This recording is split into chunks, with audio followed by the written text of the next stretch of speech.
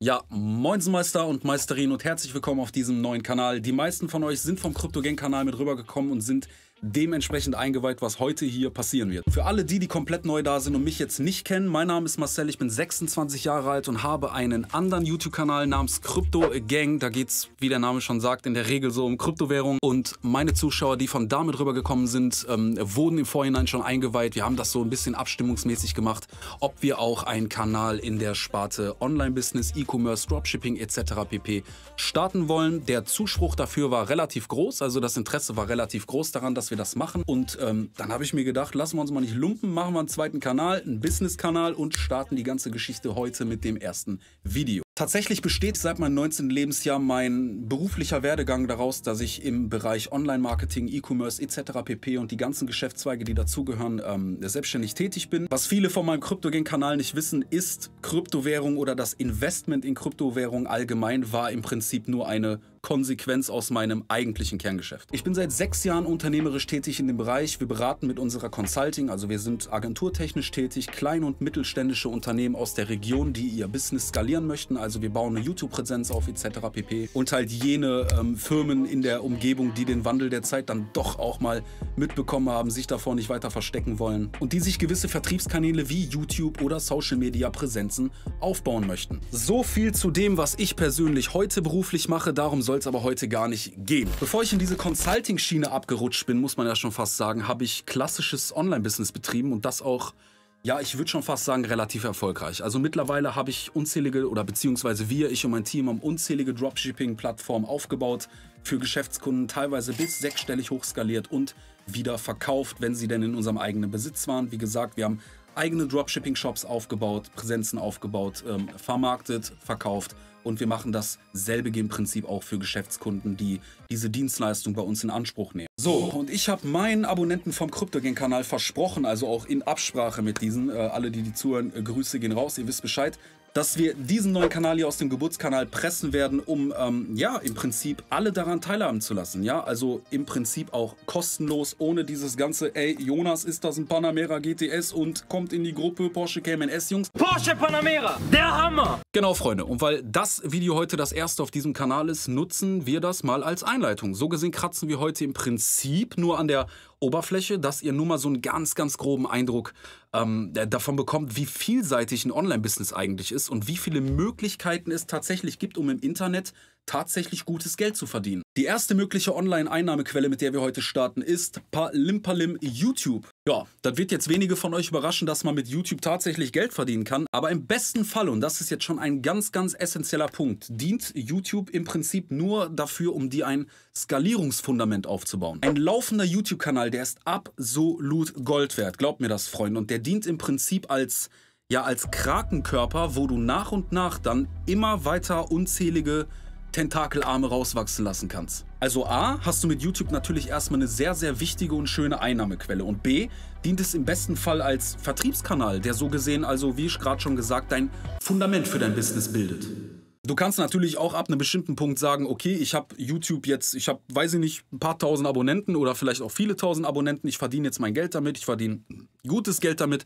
Das reicht mir jetzt im Prinzip und das ist jetzt mein Business. Also YouTube ist jetzt mein Geschäft, mein Business, darauf fokussiere ich mich. Nice, kann man natürlich machen. Aber wie ich schon sagte, fängt da eigentlich der interessante Spaß schon an, weil man, wenn man es richtig angeht, YouTube als ein Fundament sehen kann, weil man die Reichweite hat, weil man so gesehen einen Vertriebskanal hat, einen Vertriebstrichter, mit dem du dir natürlich unzählige Möglichkeiten aufbaust, dass du in weitere Richtungen nennen wir es mal, expandieren könnte. Wie verdient man denn jetzt über YouTube Geld? Also erstens natürlich über die Werbeeinnahmen, wenn dein YouTube-Kanal monetarisiert ist. Dann über die Mitgliedschaften. YouTube bietet dir natürlich auch die Möglichkeit, Merchandise direkt über deinen Kanal zu vertreiben. Aber wichtig zu wissen, Freunde, um an diesen Punkt zu kommen, wo du überhaupt davon reden kannst, bald mal mit YouTube Geld zu verdienen, musst du einige Voraussetzungen erfüllen. Im Wesentlichen musst du mindestens 1000 Abonnenten erreichen und dein Kanal muss 4000 Stunden Watchtime erreichen. Das war früher mal weniger, aber ich glaube seit 2020 sagt YouTube, naja, bevor wir die Leute jetzt alle massenweise Kohle mit unserer Plattform verdienen lassen und damit sich das für uns als Plattform auch lohnt, sagen wir den Leuten, 1000 Abonnenten ist auf jeden Fall ein Muss und es müssen in Summe, die Menschen müssen sich 4000 Stunden lang deine Videos angeschaut haben. Aber keine Sorge, Freunde, auch das werden wir alles noch exakt besprechen in der Zukunft. So, zu jedem Thema, was ich euch heute nenne, kommen natürlich bald unzählige eigene darauf spezifische, spezielle Videos, die haargenau auf das jeweilige Thema eingehen. Aber wie gesagt, heute kratzen wir erstmal nur die Oberfläche an, um euch so einen kleinen Überblick zu geben, was ist überhaupt machbar in Sachen Online-Business. Also Möglichkeit 1 haben wir YouTube. Online-Einnahmequelle Nummer 2. Machen wir mal weiter mit Affiliate Marketing. Affiliate Marketing ist im Prinzip, ja, ganz einfach erklärt. Jemand hat ein Produkt, du verkaufst es für ihn und bekommst Provision. Punkt. Das war's im Prinzip schon. Und dabei sind die Möglichkeiten unfassbar riesig und skalierbar des Todes, Freunde. Affiliate Marketing kannst du natürlich im Kleinstil betreiben. Also wie ich vorhin schon genannt habe, eventuell hast du einen YouTube-Kanal und ein paar, also packst ein paar Amazon-Links unter deine YouTube-Videos in die Videobeschreibung. Dabei muss man sagen, Amazon zahlt dabei unfassbar niedrige Margen. Du kannst aber auch dein ganzes Business auf Affiliate Marketing ausrichten und mit den richtigen Marketingstrategien und Verkaufstrichtern sogenannte High-Price-Seller an den Mann bringen. Pauschal kann man sagen, Versicherungen zahlen in der Regel ganz ordentliche Provision. Abo-Modelle von ähm, digitalen Infoprodukten schmeißen erstens hohe Gewinne ab und zweitens, das sind dann monatlich wiederkehrende Einnahmen. Also du vertreibst das Produkt einmal und das, also das Geld kommt monatlich wieder. Ich hoffe, du kannst dir nur mal so ansatzweise vorstellen, wie potenziell riesig man alleine nur diesen einen Geschäftszweig, wir sprechen immer noch nur von Affiliate Marketing, wie weit man den skalieren kann. Kommen wir zur Einnahmequelle Nummer 3, Freunde, und sprechen ein bisschen über digitale Infoprodukte. Und das ist meistens immer so der erste richtige,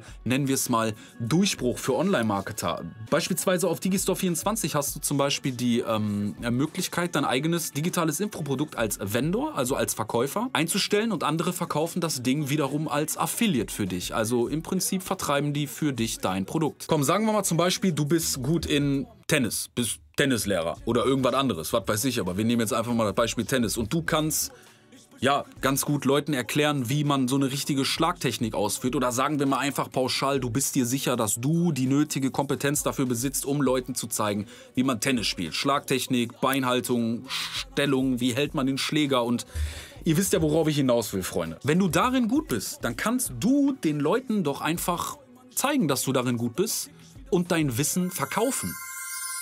Also man kann Wissen natürlich auch immer kostenlos weitergeben an Freunde und Familie, gar kein Thema. Aber es gibt doch bestimmt unzählige Menschen, die sich für Tennis interessieren, die vielleicht Tennis lernen möchten, weiß ich nicht, weil sie ihren neuen Partner beeindrucken wollen und der spielt halt gerne Tennis ähm, dass du denen deine Kompetenz vermittelst. Und das ist doch ein Wert. Und es ist auch legitim für diesen Wert einen gewissen Betrag zu verlangen. Und dann kannst du dein Wissen gebündelt in ein digitales Infoprodukt packen, ohne dich schlecht zu fühlen, denn du hilfst Menschen wirklich dafür und dich angemessen für deine Hilfe und dein Wissen den Wert, den du vermittelst, dich dafür bezahlen zu lassen. Du musst nicht mal zwingend vor einer Kamera stehen. Also wenn du jetzt beispielsweise kamerascheu bist, du kannst das natürlich über Texte machen. Du kannst Bilder machen. Also du kannst ein äh, Infoprodukt machen, wo du beispielsweise über Bilder mit den Zuschauern redest. Du kannst das so podcastmäßig machen. Das liegt voll und ganz an dir. Und mit der richtigen Vorbereitung, ein Vertriebskanal, auch Funnel genannt übrigens, ähm, gute Marketing, ein bisschen SEO. Also SEO bedeutet für alle, die es nicht wissen, Suchmaschinenoptimierung. Machst du daraus deine erste Haupteinnahmequelle. Und die kann in der Regel, also in der Regel ist das erste digitale Infoprodukt, wo man schon eine Marketingstrategie hat, so gesehen ein Verkaufstrichter. Beispielsweise, du machst das jetzt oder du bist in der Position, dass du sagst, ey, ähm, Digi, ich habe ja schon tausende Abonnenten auf YouTube, ich kann das ja damit koppeln. Dann hast du natürlich schon super Voraussetzungen, um beispielsweise ein Infoprodukt zu machen. Äh, natürlich nicht mit, um die Leute zu verarschen, sondern wirklich etwas, wo deine Kernkompetenz drin liegt. Wenn du etwas wirklich gut kannst, wie das Beispiel gerade Tennis, mach darüber ein Infoprodukt, pack dein Wissen da rein, vermittel das an die Leute und du hast ja schon den besten Vertriebskanal, nämlich YouTube. Du hast vielleicht tausende Abonnenten oder hunderte reicht auch. Das wäre aber wieder ein schwierigeres Thema, da müssen wir mal gesondert darauf eingehen, organischer Traffic etc weil Reichweite ist nicht gleich Reichweite. und kannst das darüber vertreiben. Und äh, ja, da lassen sich teilweise schon sehr, sehr, sehr, sehr lukrative Umsätze mit generieren. Die Möglichkeiten, Freunde, die sind bei der ganzen Geschichte natürlich schier endlos. Du kannst das relativ hoch, also nicht relativ, wir lassen das relativ mal weg. Du kannst das wirklich hoch skalieren. Du kannst das immer weiter ausarbeiten. Auf deinem Hauptprodukt, dem was hat man gesagt, den Tenniskurs. Da kannst du noch einen viel hochpreisigeren Upsell folgen lassen, etc. Ich denke, ihr versteht schon, worauf die ganze Geschichte hinausläuft. Am Ende geht es halt voll und ganz darum, wie du das Ding vermarktest und wie am Ende die Conversion der Interessenten ist. Conversion bedeutet konvertieren, also wie viele Interessenten werden tatsächlich zu kaufabschließenden Kunden. Und dann würde ich sagen, Freunde, kommen wir auch direkt schon zu Einnahmequelle Nummer 4. Und danach haben viele von euch geschrien, ne? seid nicht enttäuscht, wir schneiden das nur mal so oberflächlich an. Wir kommen zum Dropshipping. Und ich sage euch ganz ehrlich, alles bis zu diesem Punkt hier, ich habe keine Ahnung, wie viele Minuten ich schon laber, aber war Business Anfänger-Shit. Jetzt gehen wir mal ein bisschen in die tieferen Gewässer, Freunde, womit man erst so richtig anfängt, Geld zu verdienen. Also, wenn man es vernünftig anstellt, wohlgemerkt. Dropshipping ist im Prinzip folgendes: Du hast einen Online-Shop und verkaufst ein Produkt.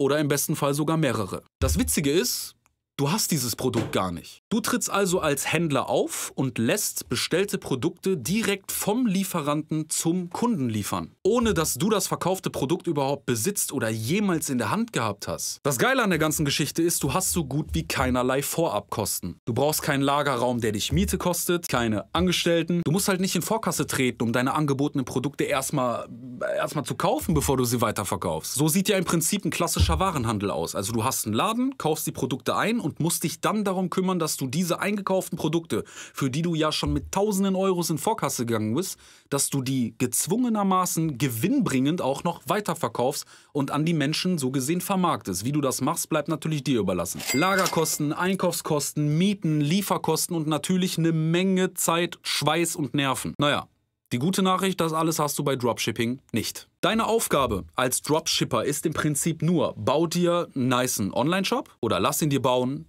Gibt es genug Möglichkeiten, da sprechen wir auch in Zukunft drüber, Freunde.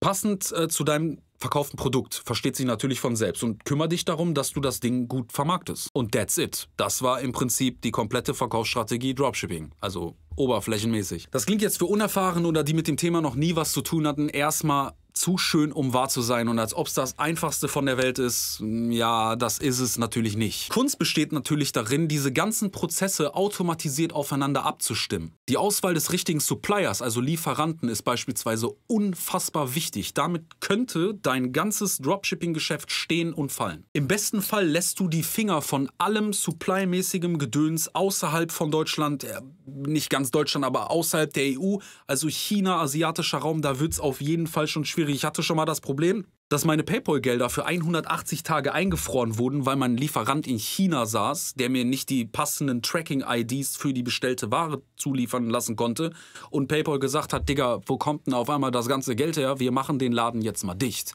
Das ist natürlich ein Problem, was du so schnell auch nicht löst, denn PayPal ist dann nicht wirklich verhandlungsbereit. Deswegen, Freunde, ganz wichtig, die Wahl des richtigen Suppliers. Aber richtig angestellt baust du dir im besten Fall mehr als nur einen guten laufenden Dropshipping-Kanal auf und verdienst damit natürlich brutale Umsätze. Ich sage jetzt nicht, dass das eine Garantie ist, aber jemand, der Dropshipping richtig angeht, der fährt eine sehr, sehr hohe Wahrscheinlichkeit, dass er wirklich sehr, sehr hohe Umsätze generiert. Ganz wichtig nochmal für Neuansteiger, Umsatz ist natürlich erstmal nicht gleich Gewinn. Wir reden hier natürlich erstmal nur von Umsatz, was nehme ich ein, Vorabzügen etc. pp. Aber Dropshipping ist eine, ist eine Möglichkeit, wo man ähm, ja wirklich, wo man wirklich kranke Zahlen kreieren kann, wenn man es richtig anstellt. Einnahmequelle Nummer 5, Freunde. Danach haben auch sehr, sehr viele auf dem Kryptogen-Kanal gefragt. Amazon FBA. Das ist jetzt im Prinzip die direkte Steigerung zu Dropshipping. Und äh, hier muss man natürlich auf jeden Fall mal einmal direkt den wichtigen Disclaimer geben. Das ist wirklich nur etwas für erfahrene Online-Händler. FBA bedeutet übrigens Fulfillment bei Amazon. Kurz gesagt, Amazon ist dein Versandpartner und kümmert sich im Prinzip um so gut wie alles. Das Beste daran, Amazon verkauft es sogar für dich. Das Problem, hier geht es jetzt natürlich um tatsächliche physische Produkte, die du natürlich auch in Vorkasse erstmal einkaufen musst. Naja, um sowas äh, rentabel zu gestalten, sucht man sich in der Regel erstmal einen Supplier aus dem asiatischen Raum. China etc., also Alibaba, AliExpress wird den meisten von euch schon mal was gesagt haben. Wobei es auch da heute einige gute Alternativen gibt. Du suchst dir also ein Produkt, welches du verhältnismäßig günstig in China beispielsweise einkaufen kannst. Viele nehmen gerne immer so das Beispiel Handyhüllen. Das meiste Beispiel, was man hört, die kriegst du in China für teilweise 50 Cent und kannst sie dann hier in Deutschland für 4, 5, 6, 7 Euro, je nachdem wie dreist du dann im Endeffekt auch bist, äh, verkaufen. Ist jetzt aber erstmal nur ein Beispiel. Das ganze Prozedere birgt aber natürlich gewisse Risiken, vor allem rechtliche. Also rechtlich musst du bei dem Thema wirklich gut Bescheid wissen. Das ist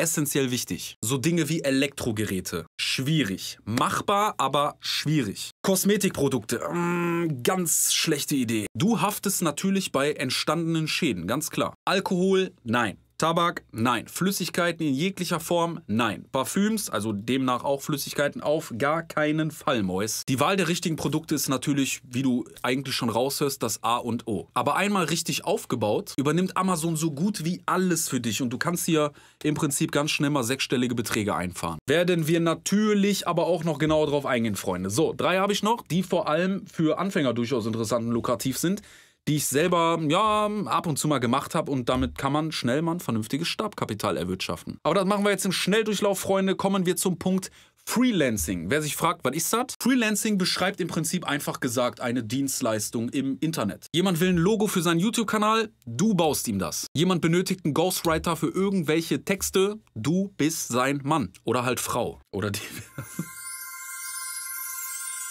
oder divers. Du hast Ahnung von Videos schneiden oder Thumbnails erstellen? Biete deine Dienste im Internet an. Es gibt im Prinzip für alles einen Abnehmer. Und alles, was sowieso im digitalen Spektrum abläuft, glaub mir, dafür gibt es Abnehmer. Probleme finden, Probleme lösen, das ist im Prinzip so ja, oberflächlich gesagt, alles, worum es bei Online-Business geht. Finde ein Problem, was die Leute haben, biete eine Lösung. Punkt. Dafür gibt es natürlich sehr, sehr beliebte Plattformen, wo du deine Freelancing-Dienste anbieten kannst und natürlich sowas auch in Anspruch nehmen kannst. Also du selber kannst diese Dienste auch in Anspruch nehmen.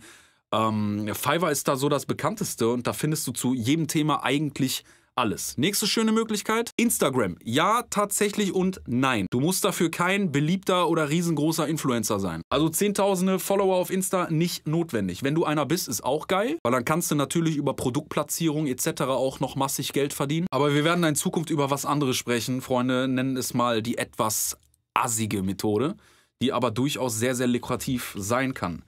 Hat übrigens wieder etwas mit dem Bereich Freelancing zu tun, Freunde. Da, wo wir aber drüber sprechen werden, dafür wirst du keinerlei Fähigkeiten benötigen. Für jeden machbar. Ob du 16 bist, ob du 55 bist, ob du fett bist, dünn bist. Aber dazu kommen wir bald, Freunde. Und das letzte, das absolut, ich mach mal eben so nebenbei eBay Kleinanzeigen. Da gibt es so einige Methoden, die euch ja, ich würde sagen, die werden euch überraschen, wie man da wirklich gutes Geld verdient und sich ein profitables, ja, na, komm, wir wollen es nicht übertreiben, aber wir nennen es mal ein Starter-Business aufbauen kannst. Aber auch dazu kommen wir bald in den kommenden Videos. Freunde, ich hoffe, ihr merkt, wie groß und vielschichtig dieses Thema Geldverdienen im Internet ist oder sein kann. Das war natürlich jetzt noch lange nicht alles. Es gibt so viele Möglichkeiten, die wir gar nicht anschneiden können, weil das Video sonst vier Stunden lang wird. Also einiges hier bietet unfassbare Möglichkeiten. Und das Geisteskranke an der Sache, hier dreht sich alles um Skalierung. Es ist unendlich ausbaubar. Alles, was ich euch jetzt genannt habe, kann man natürlich als Hauptbusiness machen, den Fokus auf eine von den speziellen oder spezifischen Sachen legen. Das äh, Schöne an der Sache ist, und das nenne ich dann gerne die Königsdisziplin, das alles kann man miteinander verknüpfen und sich somit eben diese riesige, gigantische Marketingkrake erschaffen. Krakenkörper, wo du nach und nach dann immer weiter unzählige Tentakelarme rauswachsen lassen kannst. Die Grenzen im Internet, die sind für uns heutzutage so gut wie einfach nicht mehr vorhanden. Du kannst dir hier aus Lust und Laune im Monat einen Fuffi mitnehmen, so Taschengeldbasis. Du kannst dir hier ein Business aufbauen und bei 3000 Euro im Monat sagen, ja, finde ich ganz nice, dabei bleibt es jetzt, darauf konzentriere ich mich und bin ich zufrieden mit. Du kannst aber auch natürlich alle Geschütze auffahren und realistisch Millionen Umsätze einfahren. Das ist heute die Realität, Freunde. Das hier ist eine neue Welt. Und tatsächlich so neu ist sie gar nicht. Sowas passiert schon seit Jahren, nur die meisten haben das irgendwie nicht auf dem Schirm. Und wenn man es auf dem Schirm hat, dann meist durch relativ skurrile Gestalten, die nicht unbedingt vertrauenserweckend sind. Porsche Panamera! Die in, sagen wir mal, 70% der Fälle aber auch kein durchaus großes Interesse daran haben, euch wirklich etwas Gutes zu tun, weil am Ende gewinnt der Online-Marketer. Das ist irgendwo auch schon einer der drei goldenen Regeln. Am Ende gewinnt der, der Online-Marketing betreibt. Und wir gehen diesen Weg natürlich gerne zusammen, Freunde. Auch als ein Zeichen gegen diese Menschen, die dich in diesen Werbungen angrinsen und sagen, dass sie dich schnell reich machen, wenn du für 240 Euro ihr 1 zu 1 Coaching kaufst. Niemand kommt und schenkt dir irgendwas. Niemand wird für dich arbeiten. Der Einzige, der am Ende kommt und wirklich Geld verdient, ist der Online-Marketer selbst. 1 zu 1 Coachings Nein, das funktioniert nicht. Bitte haltet euch fern von so etwas. Hier funktioniert auch nichts einfach mal ebenso. Hier muss man sich genauso und wahrscheinlich noch mehr als sonst den Arsch aufreißen, damit man irgendwie vorankommt und einen Fuß in dieses Business reinbekommt.